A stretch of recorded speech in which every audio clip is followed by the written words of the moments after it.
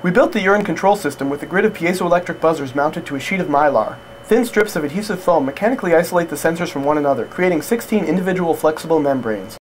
Mounted to the inside of a urinal, the sensor array detects the position of impact of a stream of liquid. The signal from each piezoelectric element is fed into a two-stage circuit consisting of an amplifier and an envelope follower. The signal is then read by a PIC microcontroller, which transmits the collected data to a computer over a serial link at a rate of 100 samples per second. We presented the You're In Control system as an interactive public installation. After installing the urinal on a freestanding sheetrock partition, we attached the electronics and mounted a screen in a frame above the urinal.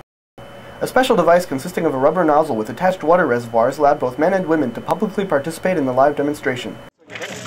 Using a stream of water as an input controller, participants played a custom-designed interactive game in which they attempted to hit a sequence of moving targets. Input position on the back of the urinal accurately corresponded to target position on the video display. The following video shows people's interactions with the live system.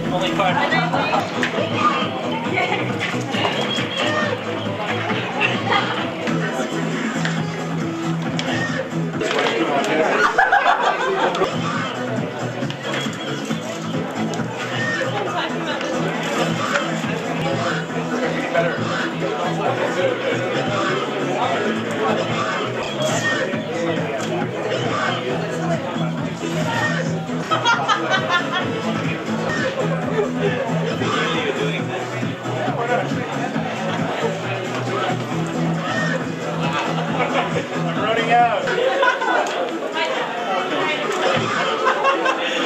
is great.